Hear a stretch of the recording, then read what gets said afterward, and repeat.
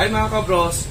Welcome back sa aming channel. Ako si Yapon at ito ang Laparan Bros Recipes. Tadaikimasu! Tadaikimasu! Lagyan natin ng marami para masarap. Tadaikimasu!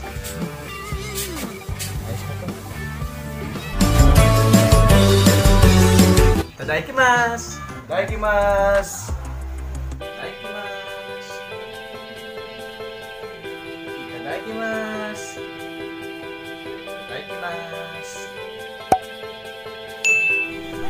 Tadaikimasu! Tadaikimasu! Tadaikimasu!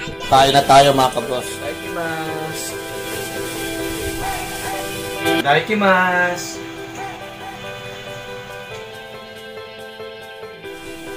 Tadaikimasu! Tadaikimasu! Tadaikimasu! Tadaikimasu! Tadaikimasu! Tadaikimasu! Kung bago ka sa YouTube channel ko, huwag kalimutan i-like, subscribe, at i-click ang notification bell para lagi kang updated sa mga niluluto ko. See you next time!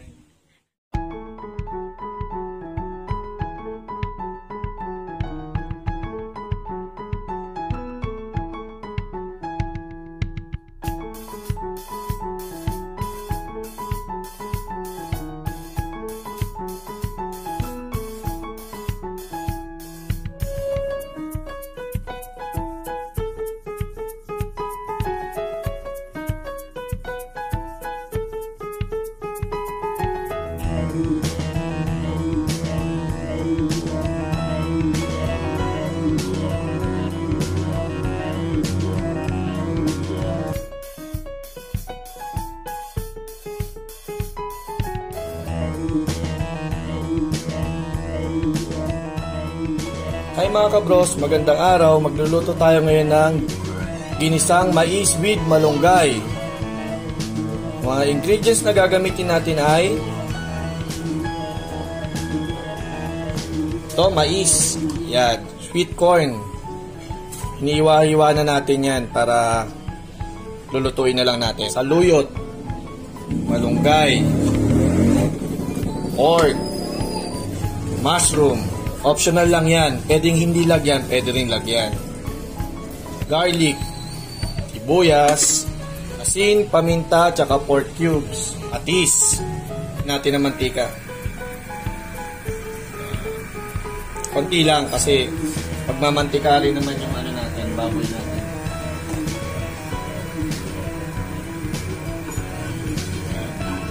Lagay na natin yung ating baboy.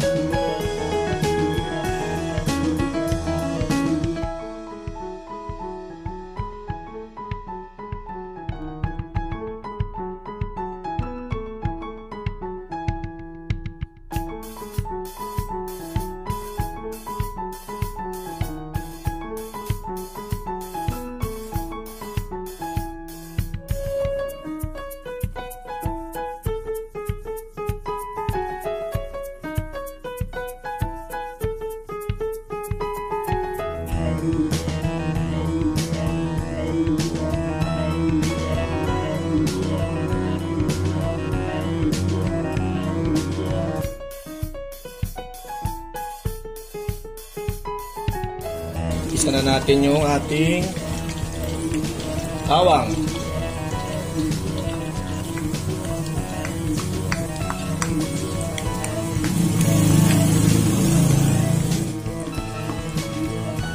Lagyan na natin yung ating sibuyas.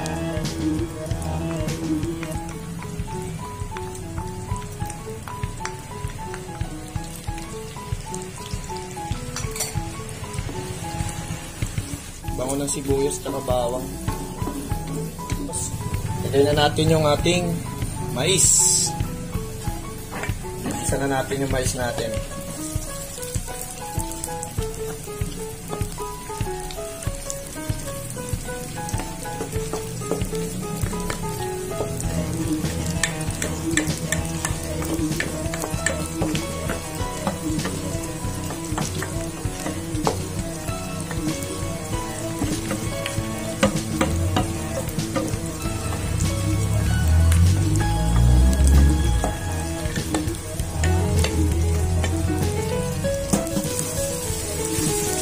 To.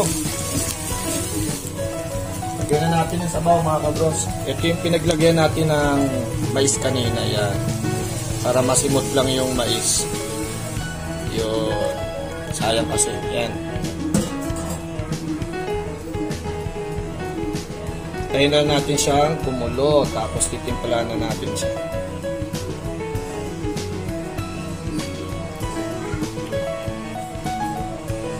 Tanggalin natin itong mga bula, mga kabros yan, impurities.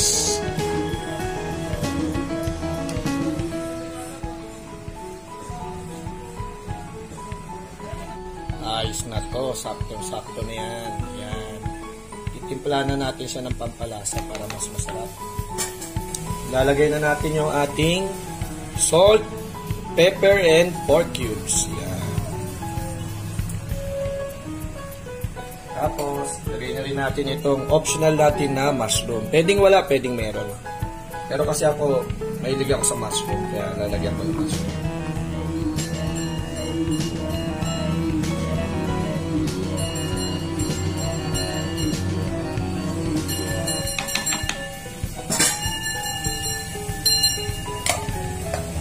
Lagay na rin natin mga kabros yung patis natin. Yan, patis. Ihuli natin yung kulay kasi mabilis lang maluto yun.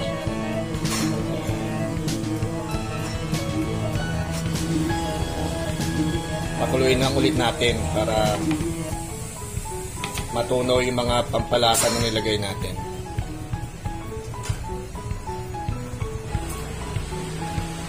Kaya mga bros, ilalagay na natin yung saluyot natin. Yan. Luto na to eh.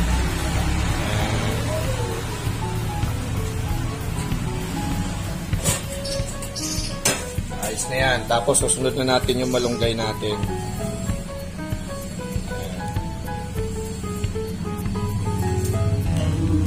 Yun. Sunod na natin yung malunggay para luto na. Yan.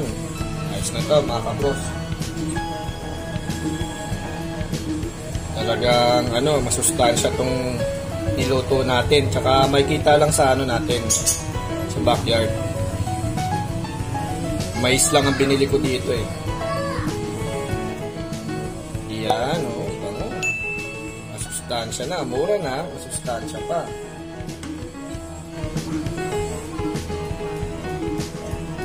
Isang kululan to mga kabros, pwede na yun. Pwede na natin iserve. Haluin lang natin, tapos tikman natin kung okay na.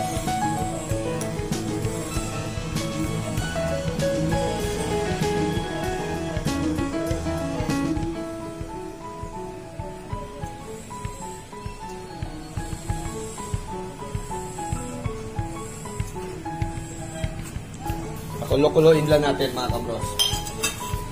Tapos, pwede na yan. Bros. Para sa akin, okay na to eh. Pangit kasi ma-overcook yung gulay. Tingnan natin.